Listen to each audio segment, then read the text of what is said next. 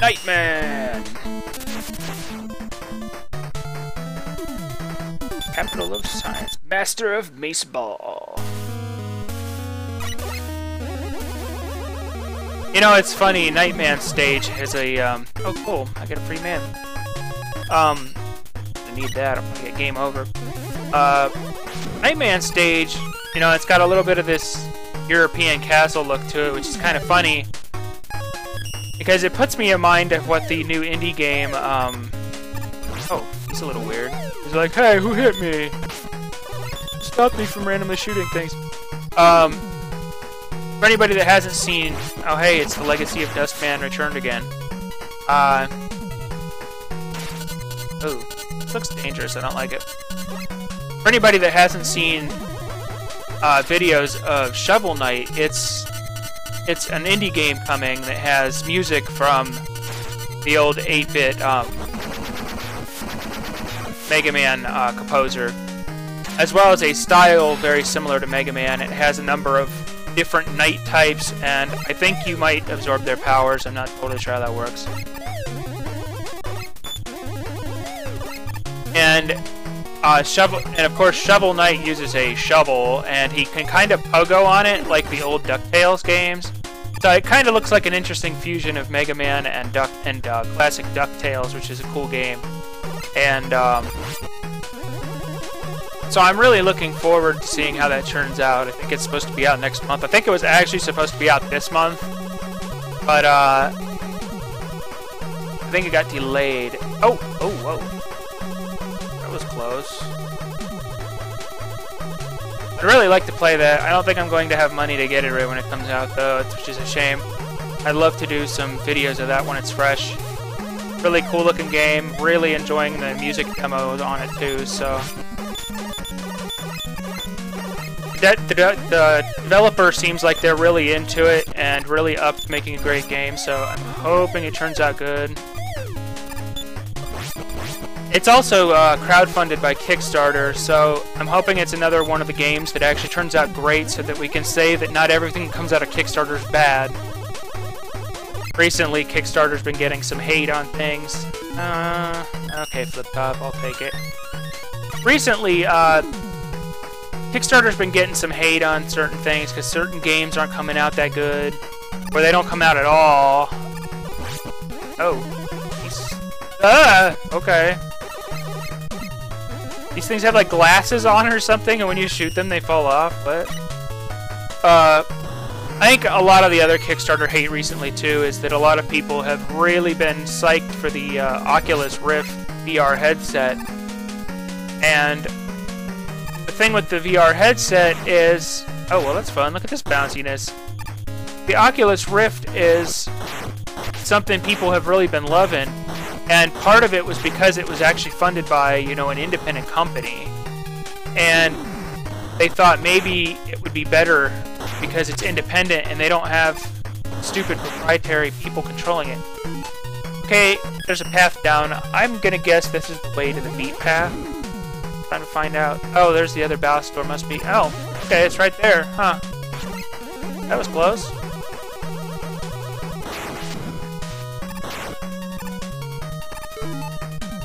But for anybody doesn't know, the Oculus Rift uh, devs, they got like two million bucks or so in funding from Kickstarter. People were loving the results, and their founder sold them to Facebook for $2 billion recently, so it's been getting a lot of hate from the Kickstarter community and gaming in general.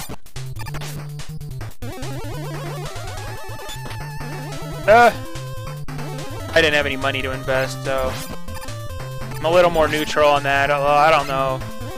I'm not sure how I feel about Facebook owning something so important to gaming's future.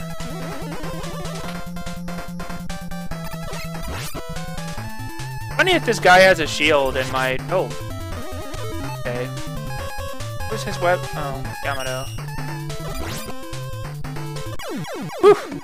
That was getting close there. Totally has to be where the beat part is.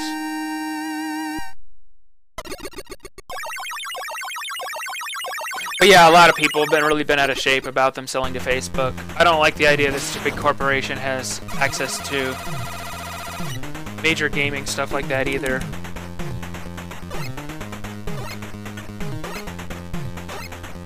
I think part of it too is that a lot of people feel like they were a bunch of sellouts because of it.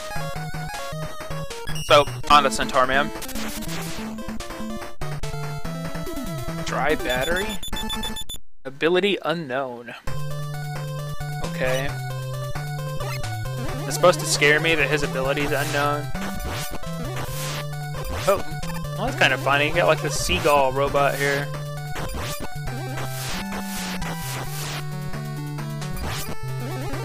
It, this is another one of the robots in the Mega Man series that has me like wondering what was the purpose of ever creating a seagull bot?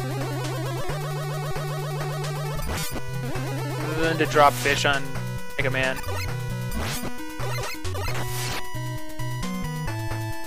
Oh, almost walked right off that. I don't trust this fish either, so let's take advantage of some of these other weapons for change. And Sadly, I can get kind of boring with my weapon choices, because I get a little conservative on saving the energy on the... Oh. Ooh, that was close. It's kind of reminiscent of Bubble Man stage or something.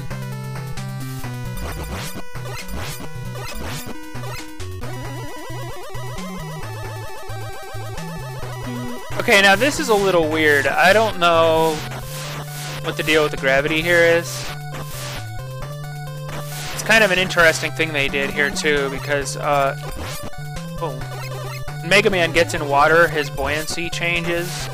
Well, I should say gains buoyancy at all. You see, you actually get more jump power by going up in there, and that looks incredibly dangerous, which is why I'm going to change to this. I'm sure that that was much safer. Now the water just disappears? Hell?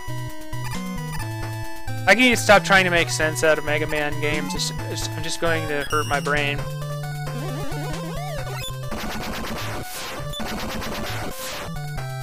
Wish I had more of this series to record. Some things you just can't get the hardware for easily. Uh, no, I'm gonna pass on that flip top. Come on, flip top. I want to energy tank or a free man or something? I don't think so. Yeah, I would actually like to do a recording of Mega Man and Bass, but that's from Game Boy Advance, and that's kind of a pain to do. I don't know. Maybe I'll figure something out.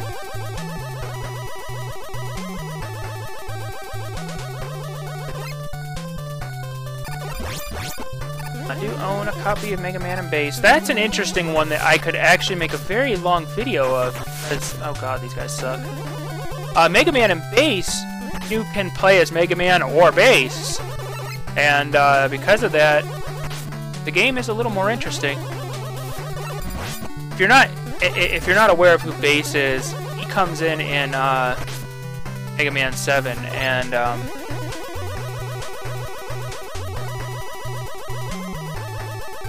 Uh, this thing's just gonna keep falling. Okay. Uh, Bass is well, and I don't want to say this is too much of a spoiler. It's right in the uh, Mega Man 7 intro, so.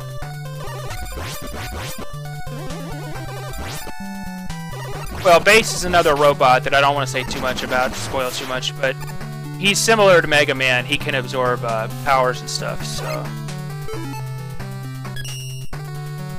Well, I think we obviously know that this is the this is the beat door here, because you couldn't just walk to that.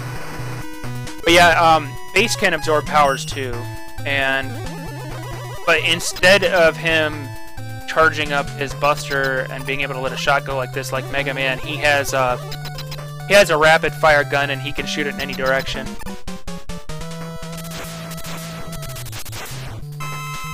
He also has a sidekick. Oh, support. Okay, well that sucked. I don't like that. Ah, you cheap bastard.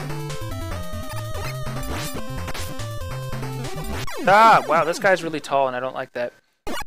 Um, funny that you use a knight's weapon to take out the um, centaur, right? But yeah, Mega Man Bass is kind of neat because Mega uh, Bass is a, just a little bit different, and he has his dog Treble instead of Rush, which is also similar to Mega Man. So.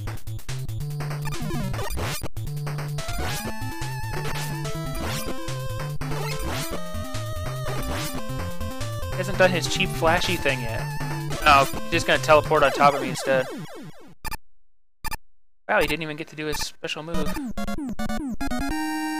Wow, did I really get all these guys already? Quick run today.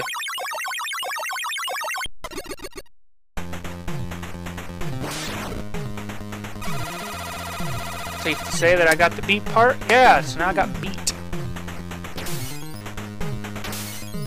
And it looks like I get the flashy thing.